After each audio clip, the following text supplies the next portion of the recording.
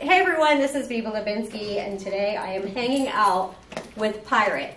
Look how cute Pirate is. He is a lab pitty mix. He's four years old. He's been here for a little while. He's so sweet. He is just a good little boy. Yes, you are. He takes the streets nice.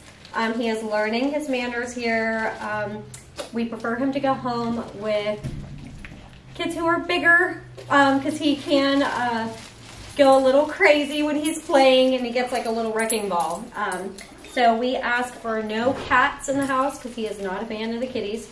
He um, would need a meet and greet for any dogs because um, he is kind of selective with his doggy friends and he is very, very high energy when he plays.